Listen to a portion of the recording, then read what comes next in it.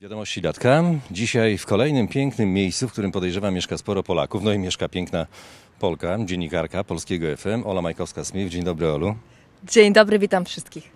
Specjalnie wybrałem się do Najperwil, chociaż ode mnie to kawał drogi. Jesteśmy w okolicach biblioteki publicznej. Nawet chciałem książkę wypożyczyć, ale wyszedłem z założenia, że dość daleko, żeby ją później oddać. Będziemy rozmawiać nie o książkach, choć wiedza na pewno przede wszystkim. Jesteś wykładowczynią na Uniwersytecie Loyola.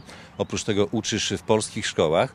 Pamiętam jak dziś, jak spotkaliśmy się wtedy, kiedy był ostatni dzień na Uniwersytecie Loyola, bo już było wiadomo, że będziemy siedzieć w domach i nauka będzie online. Podoba Ci się taki styl nauczania? Zgadza się, rzeczywiście tak było. E, Spotkaliśmy się na kampusie Loyoli e, i faktycznie myślę, że wtedy nikt nie podejrzewał, jak się sprawy potoczą. Miały być dwa tygodnie, potem się przeciągnęło do końca semestru, a bardzo prawdopodobne jest to, że będziemy uczyć online do końca roku 2020. A jak będzie w 2021, to się okaże. E, Nie jest to jeszcze w 100% e, że tak powiem, e, podjęta decyzja odnośnie uczenia e, online. Jeszcze uniwersytet tutaj próbuje e, pytać i nauczycieli, zapewne też i studentów, bo nawet ankietę pisałam nie, tak niedawno jak wczoraj odnośnie właśnie bezpieczeństwa, jak byśmy chcieli, aby to wszystko było zorganizowane. No wiadomo, niektórych zajęć nie da się przeprowadzać przez internet, bo są różnego rodzaju laboratoria, ćwiczenia, więc one prawdopodobnie będą musiały w jakiś sposób e, być przeprowadzane na kampusie. Pewnie będzie ograniczona liczba osób. Natomiast część zajęć zdecydowanie będzie najprawdopodobniej kontynuowana online. Jak to wygląda? Wygląda to w ten sposób, że na początku moi studenci byli bardzo podekscytowani. Fajnie, bo nie musimy rano wstawać, nie musimy nigdzie jechać, ci co dojeżdżali, nie musimy przychodzić do sal lekcyjnych. Było fajnie. Natomiast już mówię szczerze, pod koniec e, semestru e, większość, zdecydowana większość e, była w stresie, bo tak, nie wiedzieli, jak będą wyglądały egzaminy, bo to jest nowość, wszystko było przez internet. E, Niektórzy, którzy kończyli już szkołę, e, uczelnię i próbowali się dostać gdzieś na inne uczelnie, aby kontynuować naukę, byli w naprawdę w dużym stresie, bo nie wiedzieli, jak to będzie wszystko wyglądało. I miny zrzedły. Także za- zaczęłam pytać swoich studentów, jaką mają opinię na temat tego, czy chcieliby wrócić na kampus. Zdecydowanie tak. Słuchaj, opinie są pewnie podzielone. Punkt widzenia zależy od punktu siedzenia, tak jak powiedziałaś. Jed... Wszyscy są na różnym etapie studiowania i podejrzewam, że znajdą się i tacy. A osobiście znam takich, bo rozmawiałem z Karoliną Baran, która jest przecież y, w Kalifornii i ona powiedziała, że ona już chyba zostanie na online. No tyle tylko, że może sobie na to pozwolić, ale tak jak powiedziałaś, nie wszyscy sobie mogą na to pozwolić. Komu było łatwiej przystosować się do tej zdalnej nauki? Nauczycielom czy, czy uczniom? Już widzę ten uśmiech. Wiem, że nauczyciel. Ja nie miałam z tym problemu. E, Trochę się tego bałam, ale wcześniej miałam okazję prowadzić zajęcia online. Także ja sobie skorzystałam, mamy platformę, e, mamy książkę i do tej książki jest platforma, więc naprawdę to jest bardzo duże ułatwienie dla nauczyciela, bardzo duże. Mamy wszystko w internecie tak naprawdę. Studenci też mają do tego dostęp, więc mają za darmo e, dostęp do materiałów. E, Także może się troszeczkę obawiałam, bo my korzystamy z Zooma. Obawiałam się troszeczkę, jak to będzie wyglądało, czy nie będzie jakichś zakłóceń, e, bo to wiadomo, internet, e, duże natężenie, ale powiem szczerze, nie było żadnego problemu. Żadnego problemu, naprawdę. Egzaminy się odbyły bardzo sprawnie.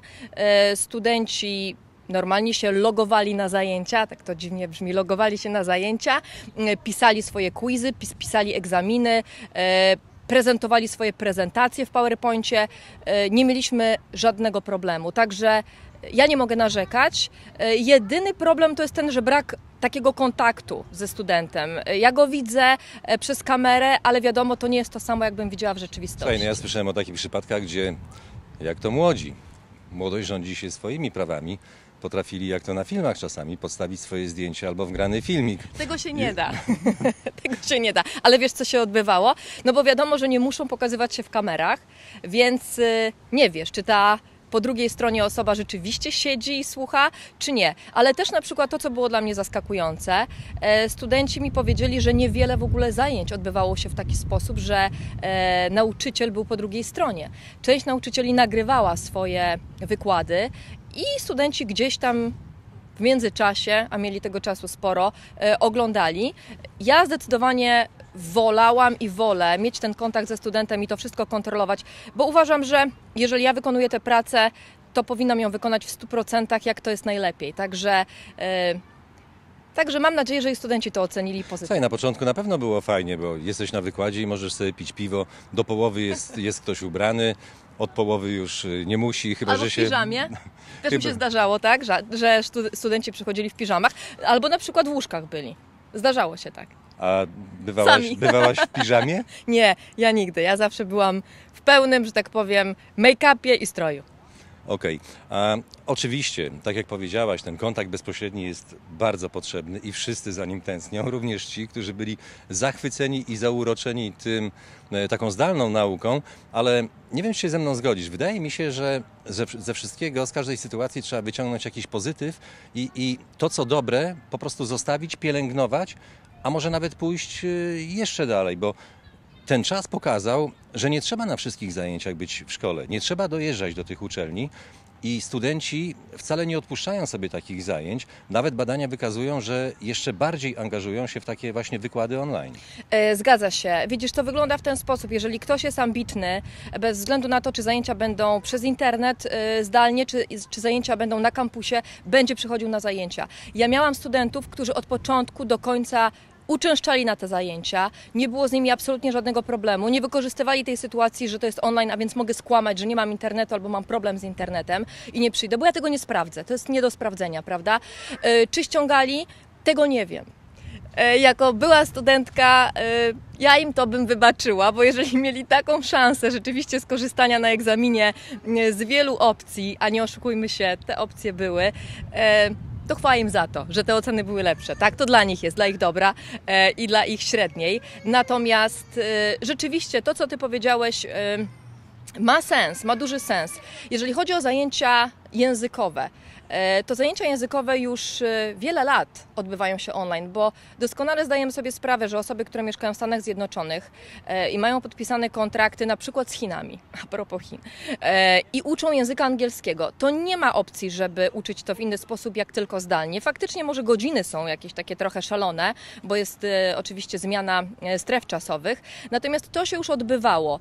Są platformy przystosowane do tego. Te platformy nie zostały stworzone przez ostatnie dwa miesiące. Te platformy zostały stworzone e, dobrych kilka, kilkanaście lat temu i były udoskonalane przez ten cały czas i naprawdę e, Świetnie jest z nich korzystać, jest dużo materiałów. E, Ja ze swoimi studentami na przykład grałam w gry. Są gry planszowe stworzone na platformę. Mm, e, Są różnego rodzaju quizy, można układać te quizy, krzyżówki. E, Rzeczywiście ja nie musiałam rezygnować tak naprawdę z niczego, powiem szczerze, z niczego. Oprócz tego, że nie byłam w stanie może kontrolować w 100%, y, czy rzeczywiście nie ściągają na quizach i na egzaminie. Poza tym wszystkie zabawy, gry językowe, e, może nie te same, które robiliśmy w trakcie zajęć, ale bardzo podobne, przystosowane właśnie do, do zajęć online się odbywały. I studenci byli miło zaskoczeni, że to nie były takie suche lekcje, tylko faktycznie były ciekawe. Tak swoją drogą, już tak odbiegając od tego tematu, który przynajmniej na tę chwilę wykończyliśmy, wszyscy mogli podglądać, to ja teraz podzielę się swoimi wrażeniami. W bardzo ładnym miasteczku mies- mieszkasz. Bardzo dziękuję. Naperville, piękne. Zielono jest, e, spokojnie. E, Czy cicho? No dzisiaj akurat nie mamy bardzo dużo ludzi e, na ulicach, a chyba przez pogodę, bo jest piękna pogoda, ale tak, kocham to miasteczko, naprawdę.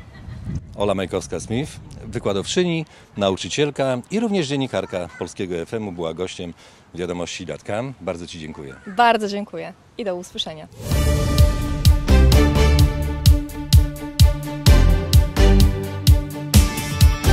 Wiadomości.com.